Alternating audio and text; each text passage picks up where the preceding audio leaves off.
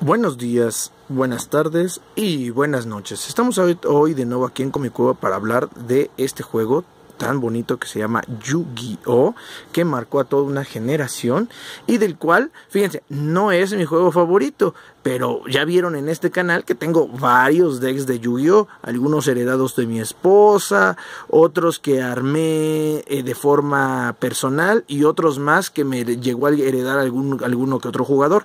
En este caso este fue uno de los decks que yo armé, eh, digamos que un jugador eh, me, vino a ofrecer un deck básico de Dragunity, me enseñó a usarlo y a mí me gustó y después yo lo empecé a reforzar un poquillo, pero básicamente pues era el deck de otro otra persona. Así me he hecho de muchos decks de Yugi que actualmente ya son míos y me gusta mucho. Y hoy quiero compartirlo porque se ha convertido en uno de mis favoritos. Pero antes de de proseguir, tengo muchos, eh, de repente, uno que otro suscriptor me ha preguntado físicamente aquí en la tienda que si las estrategias que ven aquí, eh, que si de aquí vendo cartas. Y la, y la respuesta es sí y no. Eh, muchas personas me dicen, ¿no me vendes una carta azul de tu deck? No pero hay personas que me dicen, oye, ¿me vendes tu deck? Así, ahí sí. Entonces, en el caso de si quieren cartas sueltas de Yu-Gi-Oh, no dejen de darse una vuelta aquí a Comicueva porque tengo carpetas de Yu-Gi donde, pueden, de donde ustedes pueden escoger muchas cartas sueltas.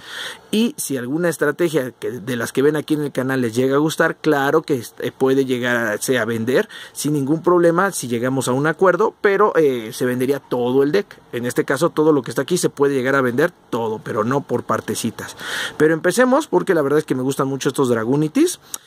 Los Dragonites son una combinación de dragones con Winged Best. Entonces me gusta mucho y todos tienen por nombre Dragunity. Entonces aquí empezamos con el Dragunity Dux, este aliado de 4 estrellas tipo aire. Es de 1500 de ataque. Dice, esta carta gana 200 de ataque si tú controlas eh, un Dragunity en el campo. Entonces se vuelve un 1700.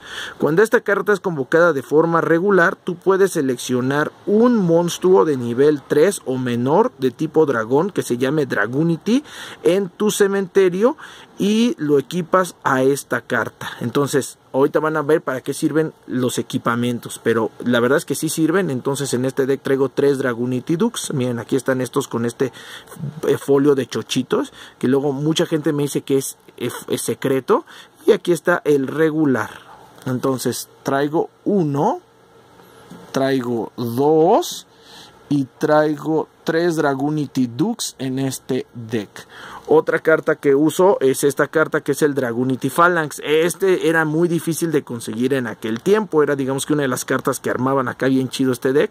Y que mi amigo me hizo el favor de heredarla en este mazo. Dije, dragón es un dragón y es un toner. Dice, una vez por turno cuando esta carta es equipada en un monstruo, tú puedes eh, por algún efecto, tú puedes convocarla de forma especial al campo, o sea, ya no como equipamiento, sino como monstruo. Entonces, la idea del Dragunity Dux es jalar esta carta y luego esta carta se, se desensambla del Dragunity Dux, se convoca de forma especial al campo y como es un toner, pues hacemos sincros de volada. Y yo traigo aquí dos Dragunity Phalanx. Entonces vamos a ponerlo por aquí al Dragunity Phalanx. Y luego pasemos, vamos a ver otro, otro, otro dragón que equipa. Estos están buenos también. Vamos a ver estos tenemos este que dice Dragunity Legionary. Es un Winged Best Effect. Ah, el otro era un dragón. En este caso, dice, cuando esta carta es convocada de forma normal, tú puedes seleccionar un nivel 3 o menor dragón, eh, monstruo tipo dragón, que lleve el nombre Dragunity desde tu cementerio y equiparlo, eh, eh, equiparlo, en, equiparlo en esta carta.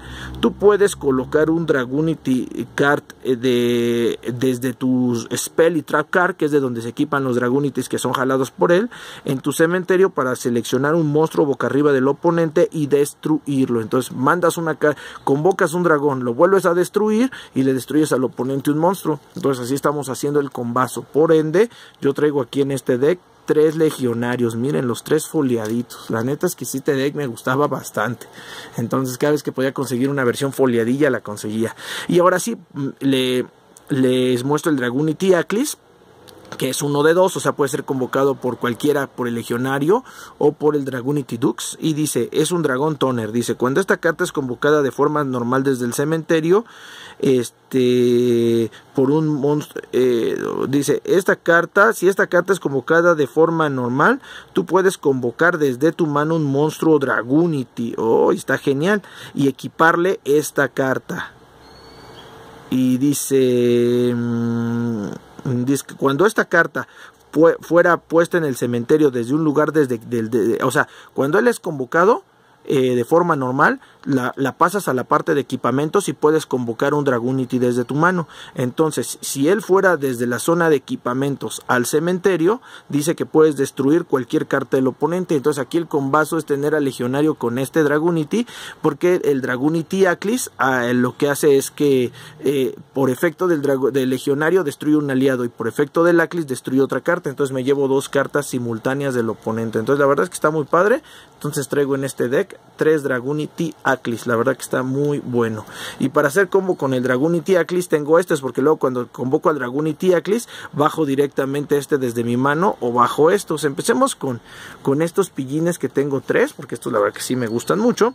Y dice, eh, tú puedes convocar esta carta de forma especial desde tu mano colocando un Dragunity monstruo en mi cementerio.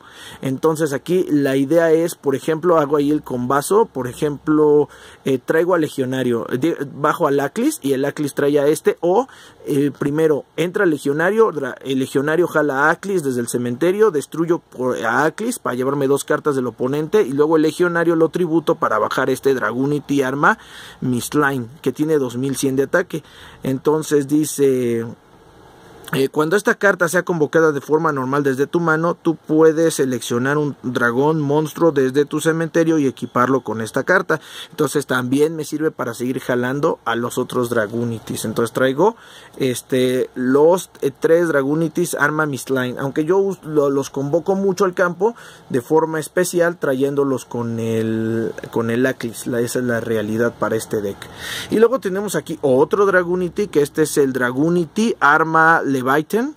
Este sí está más cañón. Este, por eso nada más traigo uno. Creo que con uno más que es suficiente. Y dice, tú puedes convocar esta carta desde tu mano o desde tu sino removiendo del juego un monstruo que tú controles equipado con un Dragunity. O sea, necesito remover prácticamente pues dos cartas para convocarlo. Entonces, este, por ejemplo, aquí sí puedo traer al Dux. El Dux porta al, al Phalanx y los tributo a los dos y traigo un Dragunity Arma Leviathan. ¿Por qué es tan bueno? Dice, cuando esta carta es convocada de forma normal o de forma especial, tú puedes seleccionar un tipo dragón, monstruo desde tu cementerio, excepto a él mismo, y puedes equiparlo con una eh, con una carta. Cuando esa carta es puesta en el cementerio, tu oponente, este, por un efecto, cuando esta carta es puesta en mi cementerio, por, una, por un efecto de carta oponente, yo puedo convocar de, a ver, a ver qué dice, when Discord is, you can select one of your monster eh, ok, ya, ya entendí. Dice que cuando esta carta sea puesta en el cementerio por un efecto del oponente, yo puedo convocar el dragón que está siendo equipado por esta carta y traerlo al campo de juego. Entonces, lo ideal, lo ideal por, por ejemplo, lo ideal con esta carta sería, por ejemplo, convocarme uno de estos, ¿no? O a lo mejor convocarme uno de estos. Y entonces si él sale del juego, ¡pum! Convoco instantáneamente a uno de estos monstruotes. Entonces es muy buena carta. La verdad que sí.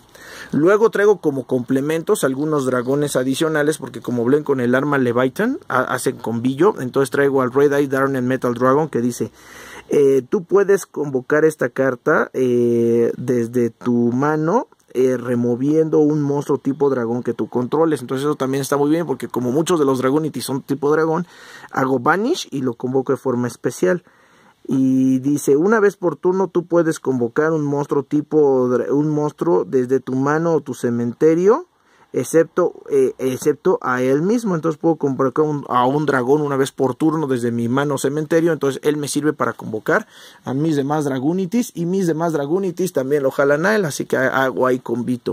Luego tengo el Malefic y Cyberend Dragon que como pueden ver lo puedo convocar de forma especial con este Leviathan.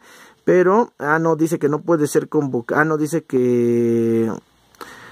Mm, ah, bueno, no, no, no, me equivoco. Esta carta la tengo porque dice que no puede ser convocada de forma normal o este o de forma especial. Más bien lo que hace con el, el Malefic Cyberend Dragon es que remuevo un Cyberend Dragon desde mi extra deck y así convoco de forma especial a este Malefic Cyberend Dragon. Entonces está bueno porque pega con 4000. Digamos que es una última opción en este deck para trabajar y la verdad es que sí lo llego a utilizar en su momento porque tengo en el extra deck al Cyberend Dragon. Luego traigo aquí al, al Whirlwind, que ya lo han visto en muchos de mis decks.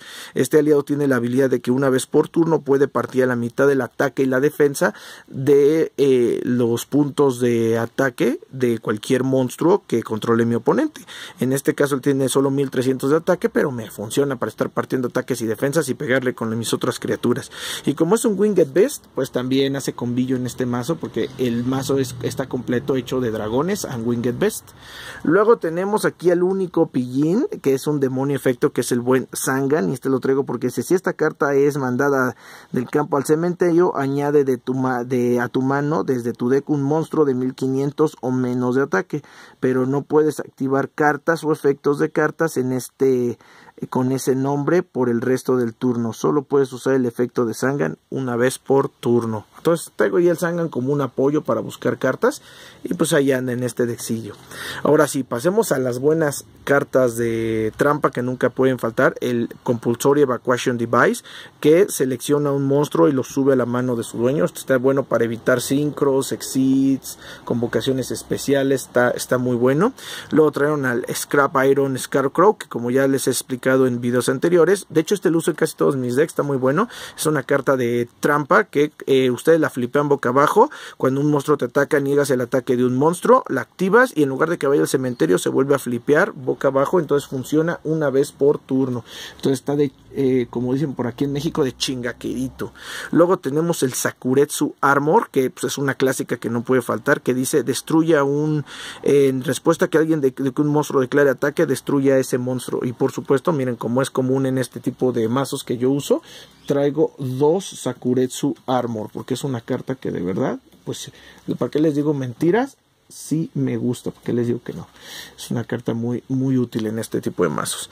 Luego traigo eh, la Mirror Force, que ya saben, es una carta que dice cuando el oponente declare ataque, actívala y, y destruye todos los oponentes, todos los ah, criaturas oponentes en que estén en posición de ataque. Entonces por aquí tenemos también al tributo torrencial, que como ya les he explicado, eh, la, la convocan en respuesta a la convocación de cualquier monstruo, ya sea tuyo o del oponente, y en respuesta a la convocación de un monstruo la activas y, destruyes a todos los monstruos del campo. Entonces, un excelente limpiador.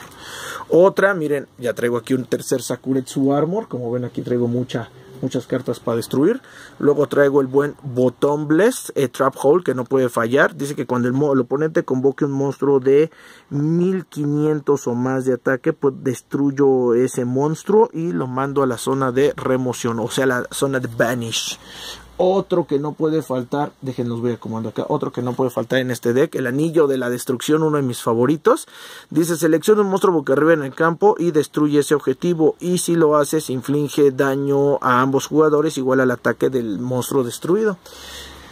Este, cabe señalar que eh, este es un, señalamiento que hago siempre en todos mis videos, que eh, estos decks yo los armé en su momento y pues son decks para juego casual, o sea, realmente no son decks que yo los mantenga actualizados con la lista de prohibidas, ni baneadas, ni limitadas, porque la verdad es que, eh, la verdad es que no los, yo no juego en torneos, no juego en ninguna liga oficial, esto es para un juego casual con mis amigos y no, no puedo dejar de recomendarles que jueguen así porque se van a ahorrar una buena lana jugar Yu-Gi-Oh en modo torneos, es muy costoso. Entonces yo voy consiguiendo las cartas y hago decks funcionales que a mí me gustan y que puedo jugar con mis amigos en esos retas banqueteras. Y para ello uso cartas como Negate Attack, que niega el ataque de los monstruos y lo y hace que el oponente pase directamente a la fase final. Excelente carta para estar negando ataques. Otros, los cilindros mágicos, estos los uso en todos mis decks, me gustan mucho. Niega el ataque de un monstruo y el, y el ataque que, él, eh, que fue infringir se lo hace al oponente a sus eh, como daño a sus puntos de vida. Luego tenemos el Starlet Road, está muy bueno, dice actívate, actívala cuando el oponente active eh, una carta que destruya dos o más de tus cartas. Niegas el efecto de esa carta y además convocas un Stardust Dragon desde tu extra deck. Entonces está muy bueno porque como yo de repente en este deck como muchos de los Dragunity están portando otros Dragunity, cuando el oponente te destruye un Dragunity generalmente se va a llevar dos cartas, entonces en ese momento activas esa carta y pues te traes un Stardust Dragon. El Solemn Judgment es otra carta que uso mucho en todos mis mazos, eh, niega la activación de una convocación normal, de, de una convocación especial, de una carta trampa, de una carta magia, de un efecto flip, o sea básicamente niega todo y destruye esa carta, pero a cambio tienes que pagar la mitad de tus puntos de vida. Una carta, como ya dije, muy buena, pero que resulta muy estratégica. Hay que saber cuándo usarla. Otra que me gusta mucho es el Rayeki. Destruye todos los monstruos que controle mi oponente. Clara, sencilla y contundente.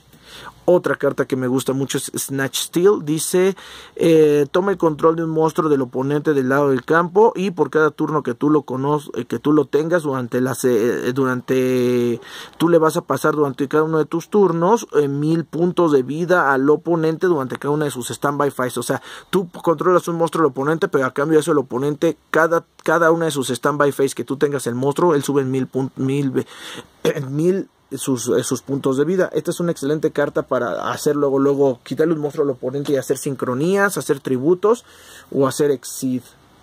Muy buena. Luego tenemos el Dark Hole, otro que no puede faltar, destruye todos los monstruos en el campo. La uso mucho.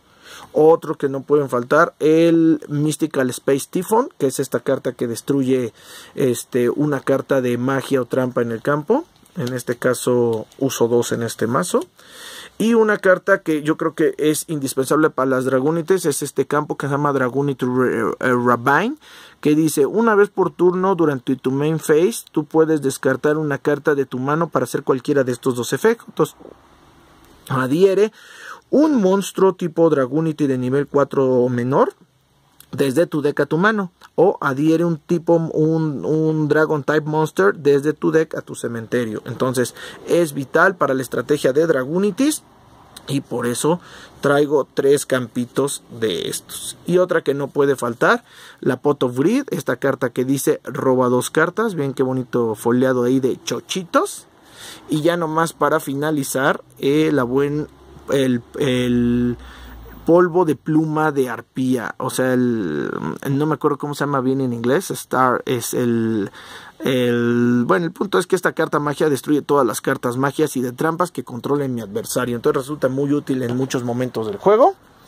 Y pues así terminamos de reseñar este mazo. Tengo 1, 2, 3, 4, 5, 6, 7, 1, 2, 3, 4, 5 por 7, 35, 36, 37, 38, 39, 40, 41, 42. Un perfecto deck armado de 42 cartitas. La verdad que está bastante útil, bastante interesante. Jala bastante bien, me gusta, creo que es un deck bastante utilitario, muy temático de, de, la raza Dragunity bueno, del tipo de, de, de, la, de las razas Winged Best y eh, Dragón y con este subtipo de Dragunity. La verdad es que está muy bien. Se parece, se parece a muchos mazos que hay del tipo, porque pues, la verdad es que los Dragunity trabajan básicamente con las mismas cartas. Y pues la verdad es que convoca muy bien bastantes sincronías. Entonces, si les gustó el video, tómenlo como una referencia para armar un mazo de Dragunities. Eh, como les repito, eh, una, una, cosa que les recomiendo con Yu-Gi-Oh es que se la lleven despacito, que vayan consiguiendo sus cartas de poco a poco y las compren cuando ya no estén de moda, porque cuando empiezan las cartas a salir, cuando este deck empezó a salir, las cartas eran muy caras, pero luego pasan el tiempo, existen nuevas estrategias, estas estrategias viejitas a lo mejor dejan de estar en boga y las cartas se abaratan bastante. Entonces es mi recomendación para con Yugi. Seguimos en contacto y nos vemos en un próximo video.